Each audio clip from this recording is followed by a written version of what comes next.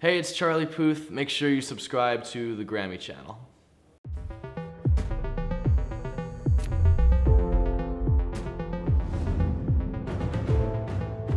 You can't describe it. You can't recreate it.